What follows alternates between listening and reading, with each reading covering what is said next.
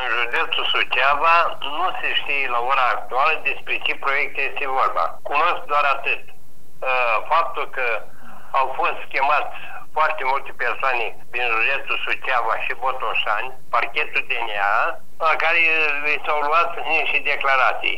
Din declarații respective am aflat că nimeni nu au primit bani, că astea au fost întrebările. Mai mult nu am ce să comentez în sensul acesta. Spuneți-ne, oamenii v-au mărturisit, au învățat ceva meserii? Ce v-au spus oamenii?